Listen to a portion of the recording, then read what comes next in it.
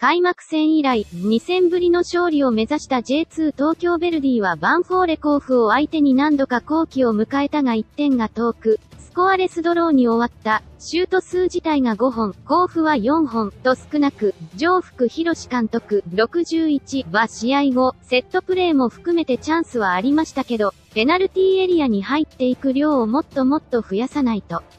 質を意識しながら量も増やしていくというところは、このチームがもっとやっていかなければいけないところ。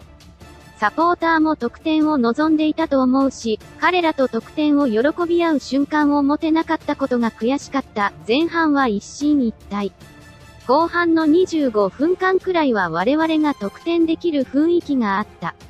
ペナの中にも何度か入っていけた。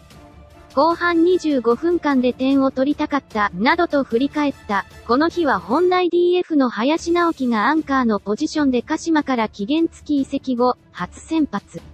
MF 梶川良太は433の左ウイングで起用し、そこから中に入ったりと自由に動かせた。一方、右ウイングのバスケスバイロンには開いた位置で張り付かせ、何度もドリブルで仕掛けさせた。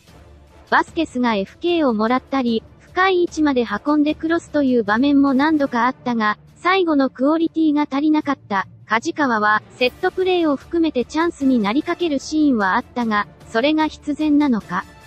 その形を何回も出せるのか？おそらくそうじゃない。固く守って0の0になる試合はあるかもしれないけど、J1 昇格を目指した時に、負けないけど勝てないチームでは昇格はできない。